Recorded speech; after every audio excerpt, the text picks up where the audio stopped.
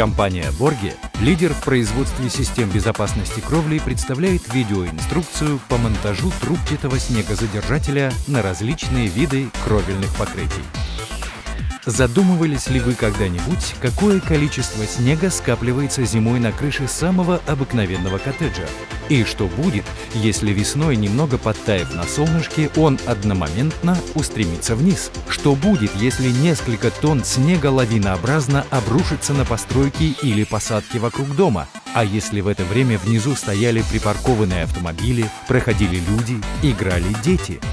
Единственное надежное и проверенное средство защиты от схода больших масс снега и льда со скатной кровли – трубчатые снегозадержатели Борге. Рекомендуется устанавливать снегозадержатели по всему периметру кровли непрерывной линией, а также над входом в дом, въездом в гараж, на каждом уровне многоуровневых кровель, над мансардными окнами, трубами вентиляции.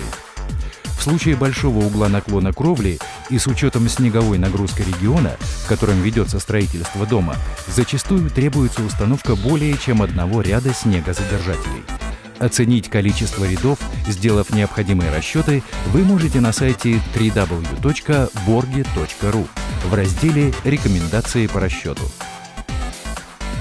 Трубчатые снегозадержатели комплектуются двумя овальными трубами длиной 1 или 3 метра, универсальными кронштейнами, количество которых зависит от длины снегозадержателя 2 или 4 штуки, комплектом крепежа и специальными уплотнителями из пластиката.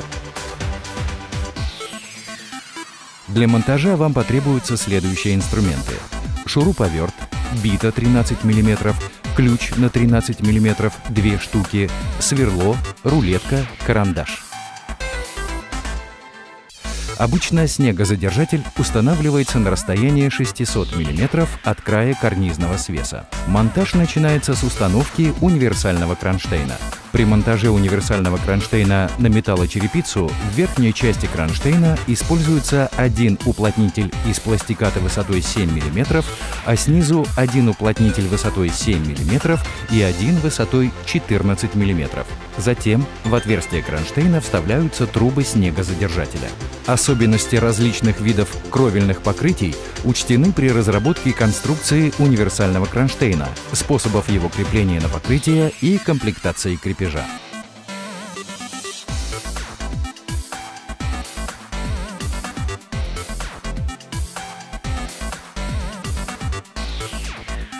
Для достижения необходимой длины трубы снегозадержателя стыкуются между собой.